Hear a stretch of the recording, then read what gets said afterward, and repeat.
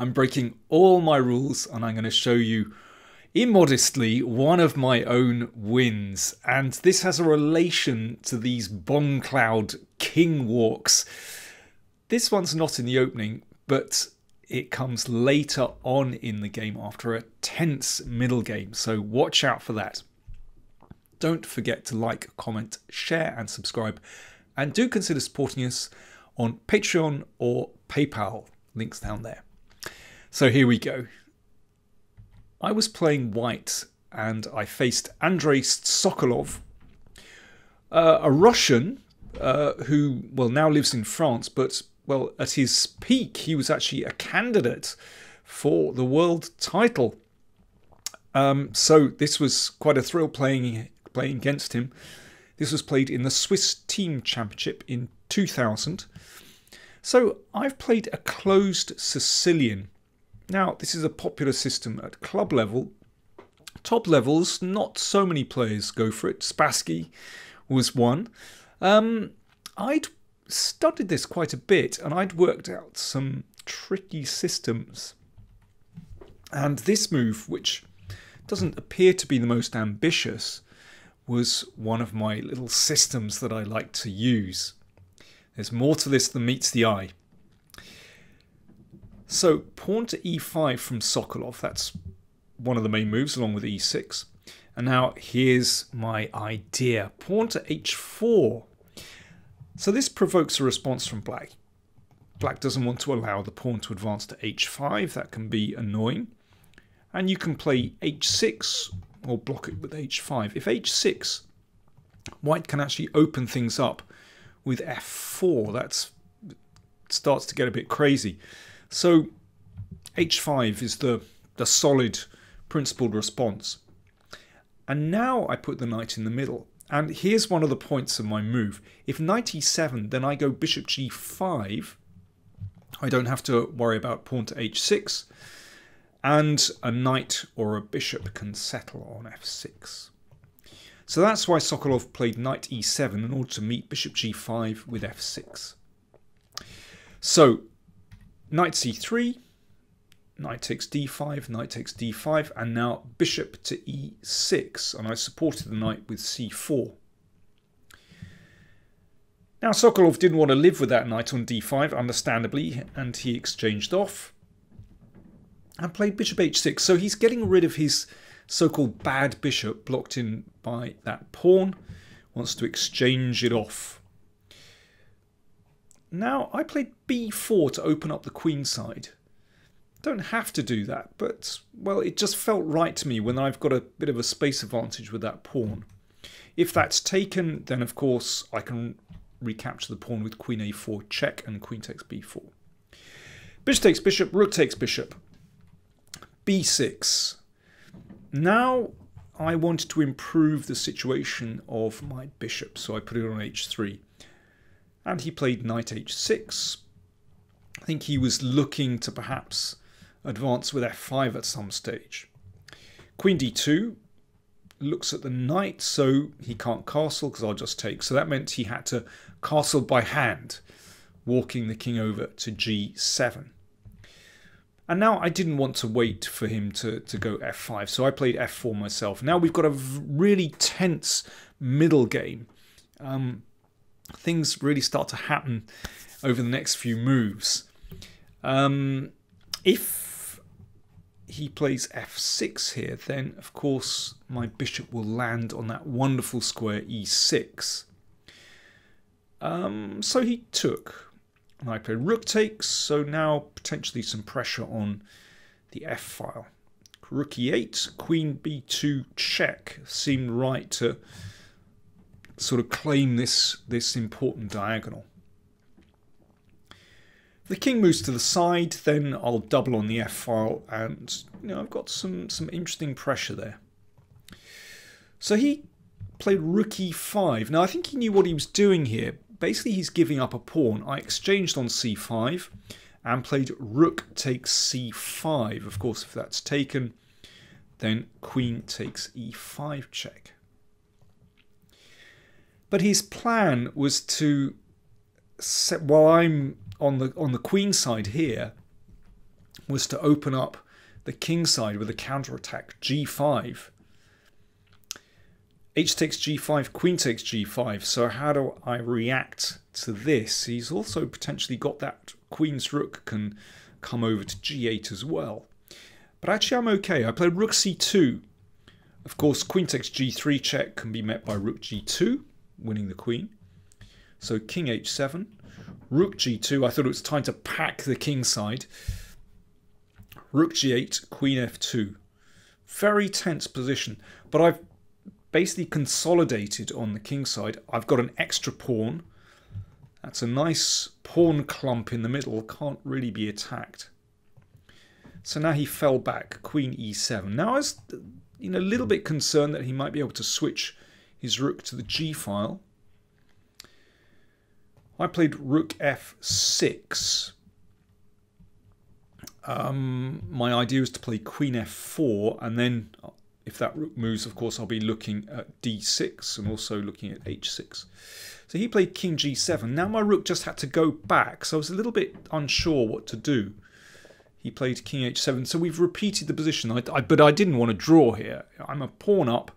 You know I should be able to at least put some pressure on him go for more. So I played bishop f5 check. Didn't really want to give up that bishop, but I couldn't see any way to, to make progress. If he goes back with the king, then I've got rook h4, and I start to put pressure on the h-file. So he exchanged off. I think that's correct. Knight takes, rook takes. Rook takes rook, queen takes rook, check. King h6. Queen f4 check.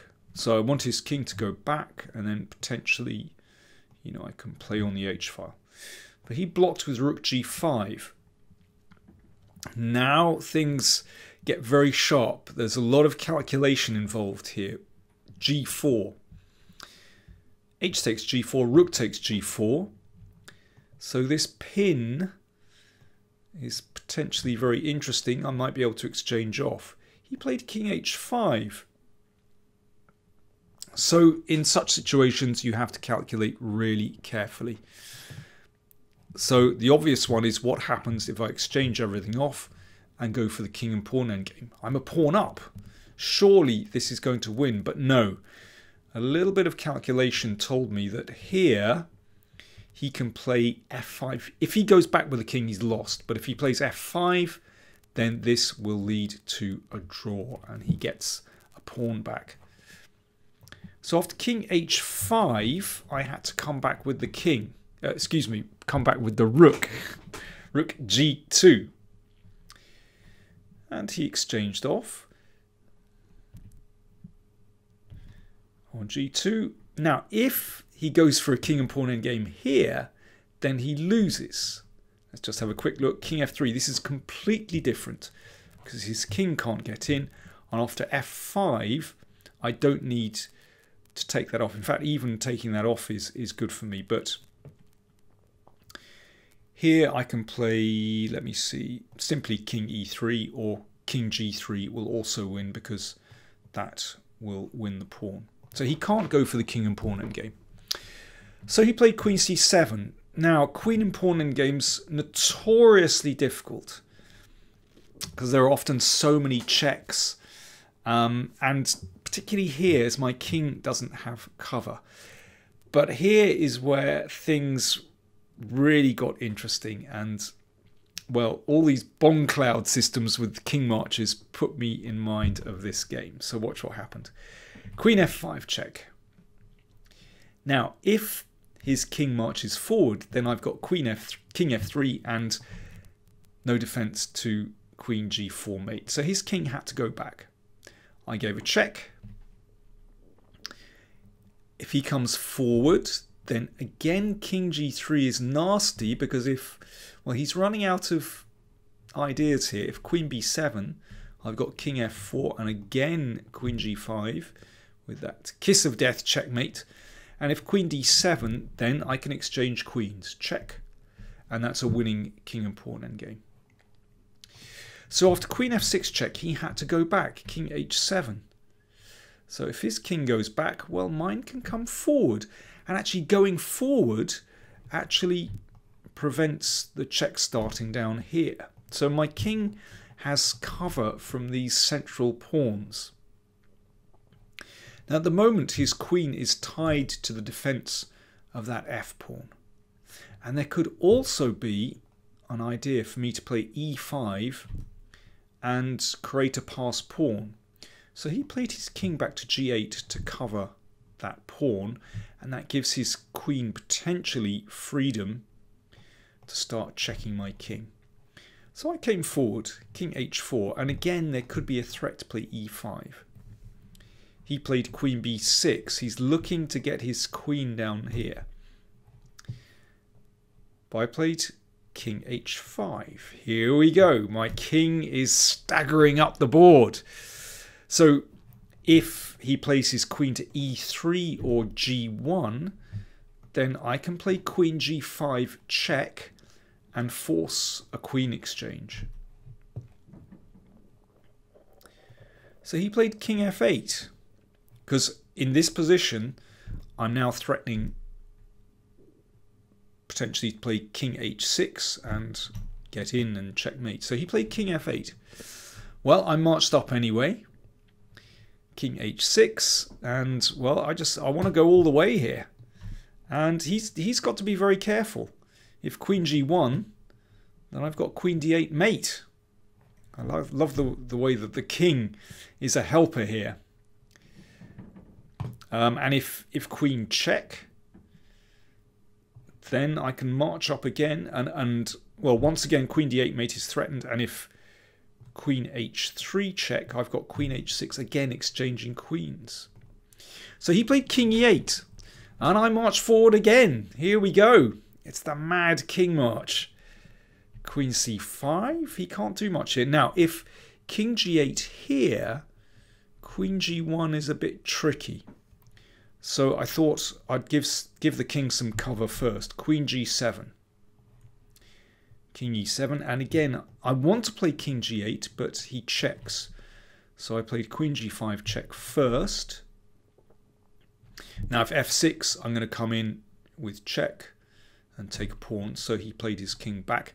And now it's safe for my king to get to g8. It's made it all the way to the other side of the board.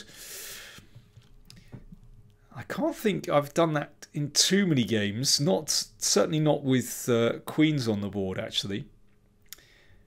The whole idea is I want to attack f7. He played his queen back. He hasn't got anything better. I played queen h6, threatening a check. He played queen e7 and now queen g7 forces a Zugzwang position. I was so proud of this. I love the symmetry. And basically he's run out of moves. He hasn't got a sensible move. If he moves his king away, then I can take that pawn. If he moves the queen away, then I've got queen check and I take the pawn. Zugzwang! All he could do was make a pawn move. So I just matched that. Perfect symmetry. I made a little pawn move. He made another pawn move. And a4. Now, no more sensible moves. He's in the box. If he plays f6, then I just exchange off queens and I have a winning king and pawn endgame. And yeah, if he moves the, the queen away, I can take this pawn. He played king d8. Now I can take, but it's even better to check here.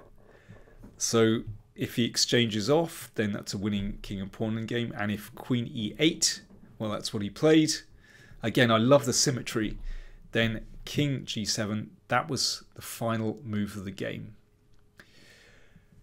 Well, he, again, he's he's just run out of decent moves. If he exchanges queens, that's a winning pawn endgame. And if king here, then I'll take that one with check. And of course, that again is a winning position for white. So there we go. That's that's my Im immortal uh, Bongcloud King March, if you want to call it that. Uh, but I was very pleased with that game. I hope you enjoyed that. Thanks for watching.